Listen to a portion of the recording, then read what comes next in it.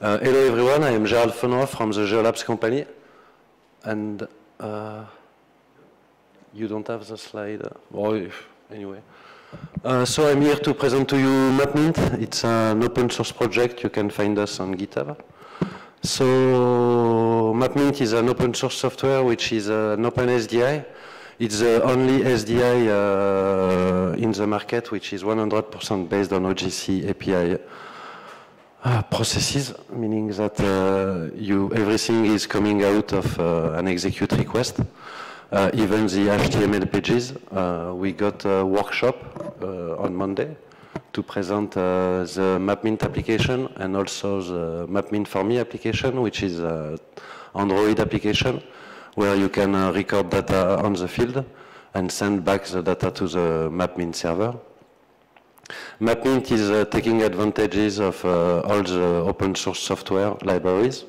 Nowadays, even from the distiller, you are able to interact with Saga GIS, which is offering uh, more than uh, 500 services out of the box without uh, one line of implementation on our side. We simply implemented the user interface to interact using the Zoo client to, with services. Uh, we are using also, we are relying on GDAL, so we are supporting almost uh, all the GDAL uh, capability.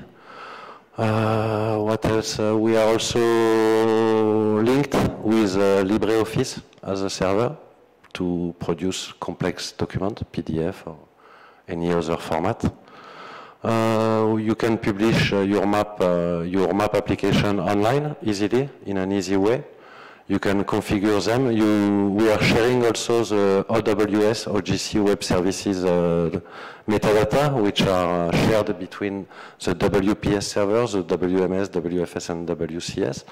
For the GIS engine, we are using a MapServer, so it means that Maps, uh, MapMint is a kind of uh, tool to configure your MapServer application in, an, uh, in a very easy way.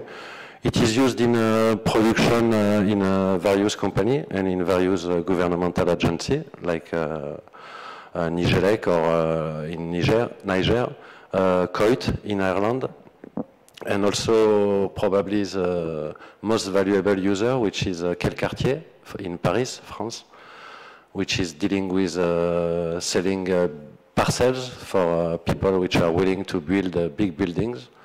So we are giving them the capability to show their data on the map. And uh, I think this is it for my presentation. So if you have uh, any question or you want to see the logo, you can go online and uh, on GitHub and you just type github.com uh, slash mapmint and uh, you should find your way from there.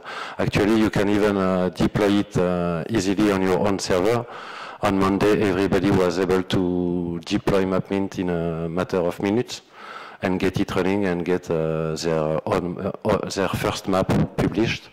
And even the print is uh, currently available in our Docker Compose. So please use it, enjoy, and uh, have fun during this FOSS4G. Thank you for your time. I guess there won't be any question because there was no screenshot, no nothing. So I wonder how one question can come. So I thank you very much for bringing me in Florence, which is an innovative uh, city. So I like it. My uh, so this software is very amazing, but uh, I wonder how I can present it in only five minutes. So I have nothing much to say, and I thank you very much again. Bye. Thanks.